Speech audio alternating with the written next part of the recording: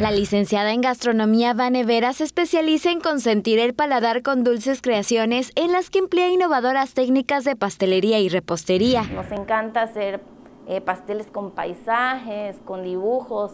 Ahorita te comentaba que están muy de moda eh, como los memes y todo eso, entonces está padre también poderlo plasmar en un pastel. Esta es una técnica que simula a, la pintura en óleo.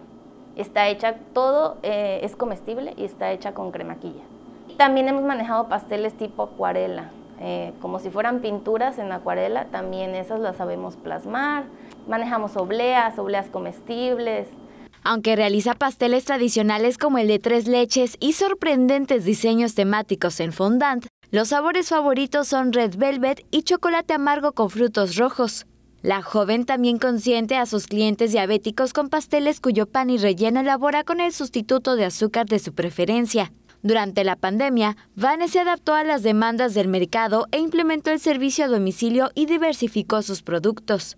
Por su constante capacitación, también elabora productos a base de chocolate como figuras personalizadas y chocobombas, ideales para un regalo en una fecha especial. A casi tres años de emprender, la joven pretende incrementar su espacio de trabajo porque lo que inició en su cocina ahora ocupa gran parte de su casa y no olvida lo que la motivó, hacer pasteles con amor. Con imágenes de Efraín Rodríguez, Mayra Vences, Tele Yucatán te informa. Tele Yucatán te informa. Lunes a viernes, 8 de la noche.